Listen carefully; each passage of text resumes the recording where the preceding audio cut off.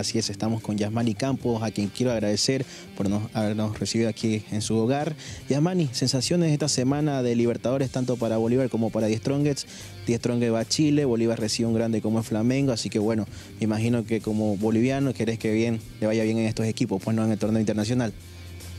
Muy buenas noches, gracias por la cobertura. Este, la verdad que eh, vamos a estar a la expectativa ¿no? de dos grandes partidos que tienen tanto Bolívar, el Tigre y esperando que les vaya bien. ¿no? Eh, sabemos que el Tigre juega de visitante con, con Huachipato, un partido seguramente difícil, eh, pero que un Tigre que está bien, en la liga está bien y, bueno, en la Copa igual este, ha empezado bastante bien. Esperemos que, que pueda hacer lo que hizo Bolívar en Chile y nos, nos pueda regalar a todos una alegría. ¿no?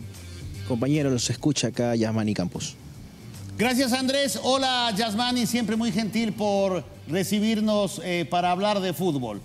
Eh, está entre los semifinalistas, eh, da un paso importante, puede ser finalista incluso de la Copa Paseña.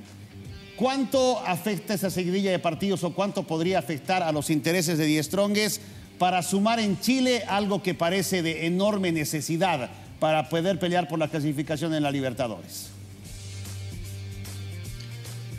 Hola, ¿qué tal Ernesto? ¿Cómo te va? Gusto saludarte. Eh, sí, sabemos que eh, es difícil no poder competir en dos torneos y sobre todo ser protagonista como lo viene siendo el Tigre y la verdad que me imagino que hay un muy buen momento sabiendo que están a un paso de la final del torneo y, y, bueno, de la Copa Libertadores también están, están viviendo un buen momento. ¿no? Eh, lo importante aquí es que los jugadores puedan estar enteros.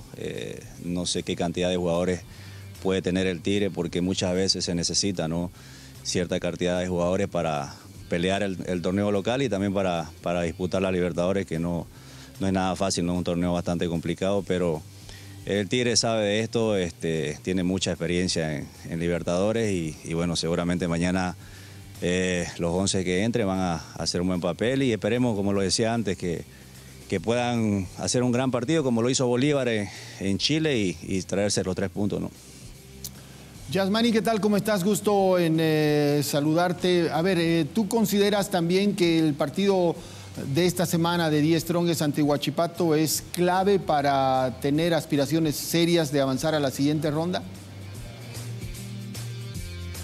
Sin duda que sí, Ernesto. Yo creo que es un partido importantísimo, ¿no? Eh, eh, ganando o empatando, el Tigre eh, tendría ya un importante avance en, su grupo y, bueno, haciendo, haciendo buenos partidos de local, yo creo que ya estaría clasificándose a, los octavos de final, ¿no? Entonces yo creo que los dos clubes paseños están viviendo un buen momento.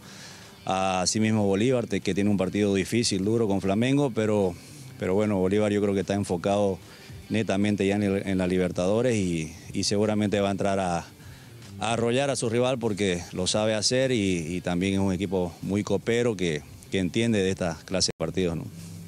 Yasmani, ahora hablemos un poquito de Bolívar. Es cierto, ya lo has manifestado, sabemos todos que se acabó la primera parte de la temporada en el fútbol nacional para la academia, pero lo que van haciendo en Libertadores es muy importante. Seis de seis en cuanto a puntos, incluido goleada jugando en Chile.